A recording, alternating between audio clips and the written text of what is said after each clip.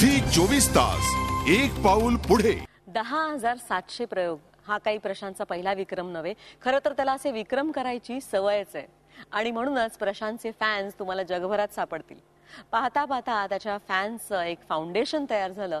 आणि प्रशांत दामले फॅन फाउंडेशननी फक्त शैक्षणिकच नाही तर सामाजिक उपक्रमही राबवलेत असं एखादं पुस्तक आहे का ते तू वाच लिम्का बुक ऑफ रेकॉर्ड्समध्ये प्रशांत दामले यांच्या नावावर आतापर्यंत चार रेकॉर्ड्स नोंदवले गेले होते. त्यामध्ये चोवीस डिसेंबर एकोणीसशे पंच्याण्णव साली एकाच दिवशी तीन वेगवेगळ्या नाटकांचे चार प्रयोग एक जानेवारी एकोणीसशे पंच्याण्णव ते एकतीस डिसेंबर एकोणीसशे पंच्याण्णव साली एका वर्षातच चारशे बावन्न प्रयोग. आणि अठरा जानेवारी दोन हजार एक रोजी एकाच दिवसात तीन नाटकांचे प्रयोग असे विक्रम नोंदवले गेले.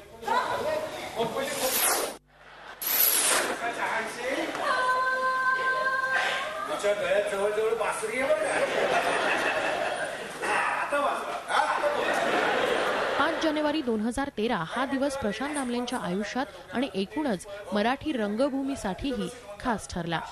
कारण प्रशांत दामले यांनी गेला माधव कुणीकडे या नाटकाचा एक हजार सातशे सेहेचाळीसावा प्रयोग सादर करून नवा विक्रम नोंदवला.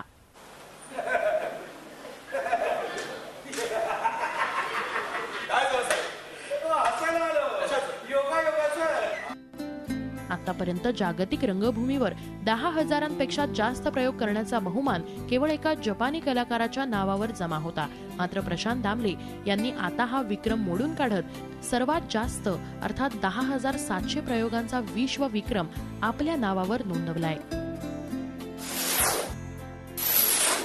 नाट्य व्यवसाय तोट्यात न जाता कसा लाभदायक ठरू शकतो यासाठी प्रशांत दामले यांनी अनेक नवे मार्ग आपल्या हिमतीवर सुरू केले. त्यातलाच एक मार्ग म्हणजे नाटकाचं ई बुकिंग ओळख ना पाळक या आपल्या पहिल्याच निर्मितीद्वारे अभिनेता प्रशांत दामले यांनी मराठी नाट्य व्यवसायाला आजवर परिचयाच्या नसलेल्या ऑनलाईन बुकिंगशी ओळख करून दिली.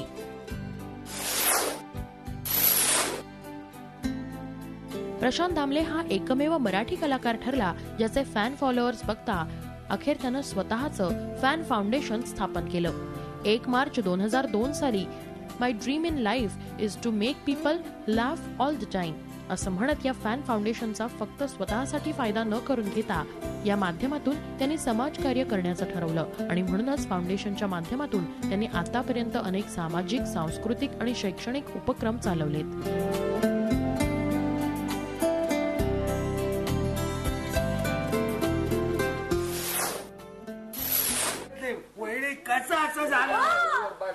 बदलत्या काळानुसार प्रशांत दामले यांनीही बदल स्वीकारत प्रेक्षकांना जे हवं ते दिलं. Prashant दामलेंनी W W W dot Prashant Damle dot com ही वेबसाईट लॉन्च केली.